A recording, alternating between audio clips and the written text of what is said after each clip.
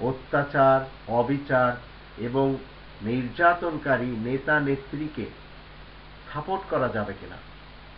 যারা দেশে অন্যায় করছে, অবিচার করছে, অত্যাচার করছে এবং নির্যাতন করছে, এমন নেতা নেত্রীদের পার্টি করা যাবে কিনা? এমন নেতা নেত্রীদের সাপোর্ট করা যাবে কিনা? যারা করছে, তারা কি বৈধ করছে? না তারা অবৈধ করছে? কোরআনের দৃষ্টিতে এর সমাধান আমরা কি পেতে পারি? কোরআনের পাঁচ নম্বর সুরাল মাইদা এর দুই নম্বর আয়াতে আল্লাহ রব্বুল আলমিন বলছেন, এই পৃথিবীতে দুই ধরনের কাজে কাউকে সাপোর্ট করা যাবে না। ওয়ালা তাওয়ানু আলা লিসমি ওয়ালদোয়ান যারা গুনাহের কাজ করবে, যারা কোরআনের বিপরীত কর্মকাণ্ড করবে, তাদের কোনো ধরনের সহযোগিতা করা যাবে না। যে কোনো অন্যায়কারী, অত্যাচারকারী, অবিচারকারী, নির্যাতনকারী, দুষ্কৃতিকারী, দুর্নীতিবাজ, ভ্রষ্টাচার এবং নৈরাজ্য সৃষ্টিকারী, যত নেতা এবং নেত্রী, পার্টির প্রধান রয়েছে এমন পার্টিকে সাপোর্ট করা যাবে না, একজন মুসলিম কখনো করবে না।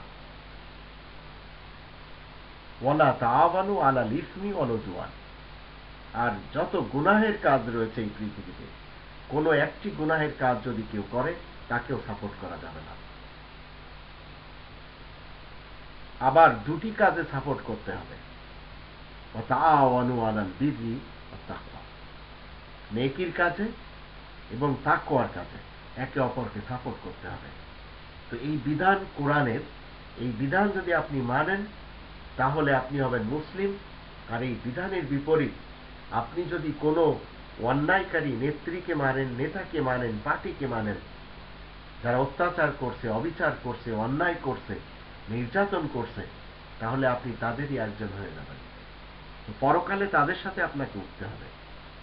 কারণ আল্লাহ তালার ফায়সালা ইয়াউমানাদু কুল্লা উনাসিম পরকালে প্রত্যেককে তাদের দলপতির সাথে ডাকা হবে।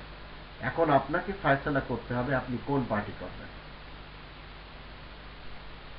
আপনি যদি বাংলাদেশি হন, তাহলে বাংলাদেশে অনেক পার্টি রয়েছে। সেই পার্টিগুলির কর্মকাণ্ড, নেতা নেত্রীরা যা করে যাচ্ছে দেশের মানুষের সাথে, এদের কাউকে যদি আপনি সাপোর্ট করেন, তাহলে আপনি প্রস্তুত থাকুন। পরকালে এদের সাথে আপনাকে উঠতে হবে। কারণ এই ফায়সালা কি? কোরআনের? আর কোরআনের ফায়সালা আপনার শক্তি নেই রদ করার।